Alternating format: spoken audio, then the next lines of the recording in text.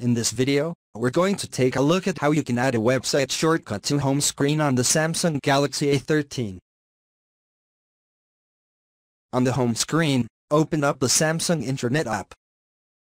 In here, go to the web page that you would like to create a shortcut.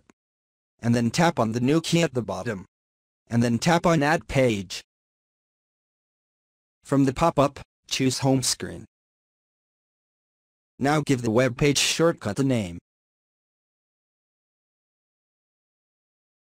You can use the default name, or you can create a new name. If you want it to and then tap on Add. Then tap on Add next tap on the Home button. Now on your home screen, you can see it create a new shortcut. And it has a small icon at the bottom to show that it is a web page shortcut. Thank you for watching this video, please subscribe to my channel for more videos.